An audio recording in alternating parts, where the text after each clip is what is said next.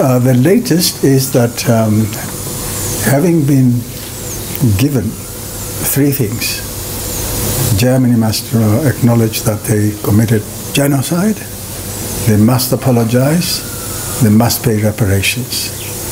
And uh, on the first two issues, uh, they have come out, although not very in when it comes to accepting genocide. They say, from today's perspective, is genocide.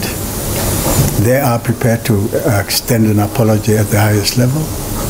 So that that far, uh, we would refine, uh, get them to refine their position, and be more explicit on the first one. The sticky point has always been on the question of reparations, which uh, they very often avoid to even use the term. They say healing the wounds. And on that, on that one, we decided, because what we put to them, they felt it was too big for them to chew, etc. We decided that uh, in the next, before the next round takes place, the seventh round, we should get experts from their side and from our side to get onto this particular point.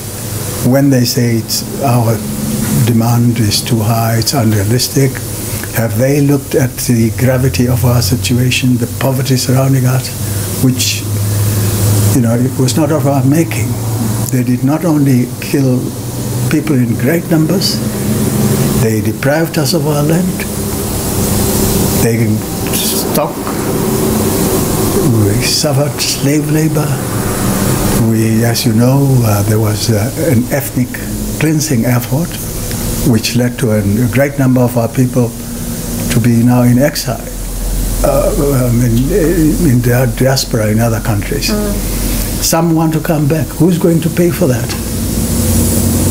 And resettle them. So they have got to look at the total picture of our needs to reconstruct our society.